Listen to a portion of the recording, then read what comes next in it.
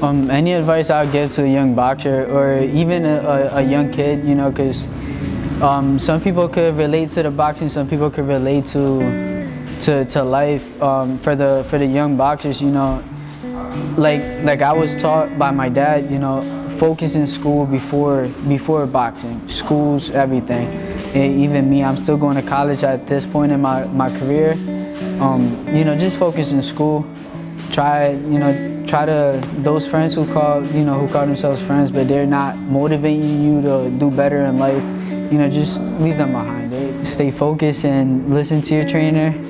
Um, try to try to not sidetrack yourself from boxing. If boxing is what you do, boxing it's not just a sport, it's a dangerous sport. So you gotta be 100%.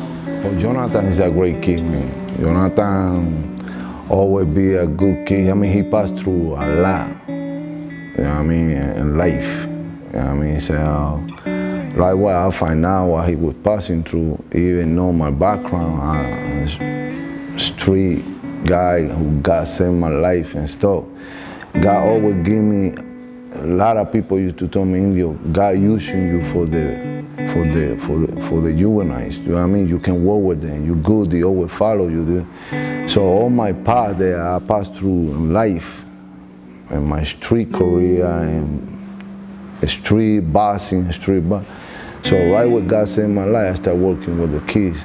And I got that vision that I can see where kids suffering, something happened with them, and and I'm lucky that I'm, clean, I'm clinch with them right away.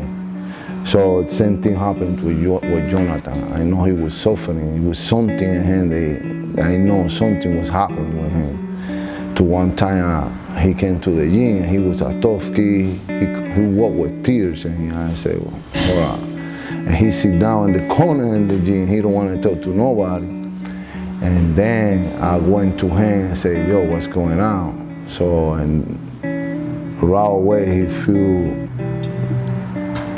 he feel safe talking to me and hurt me, you know what I mean? See him, you know what I mean, good kid, you know what I mean?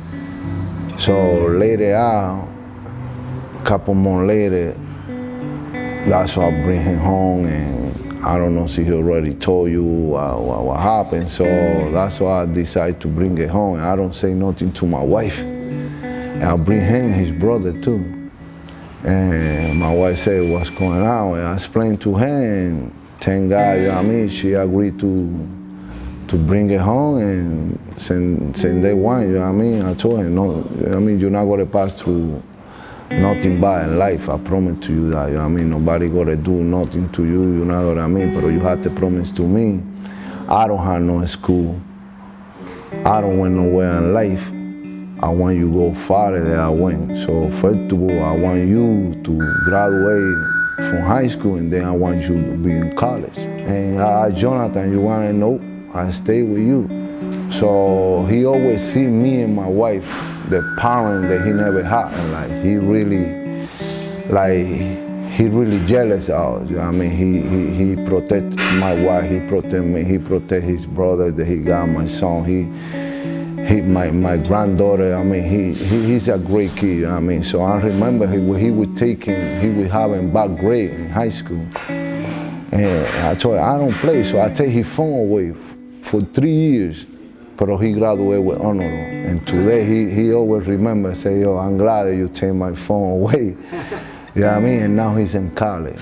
You know what I mean? He's a college student. So that made me good because I always told him, you gotta be a champion so you follow what you have to follow, you know what I mean? And I'm taking him to church and Sunday too, you know I mean? Because that's real important in these young kids, you know what I mean? To know God and to know, you know what I mean, that to be in the right, in the right, right um, step, you know what I mean? So he come out really young, young, young, young man, you know what I mean? He, he, everybody love him, you know I mean? He's a kid that he got a lot of love, you know what I mean? Even know that he passed through a lot.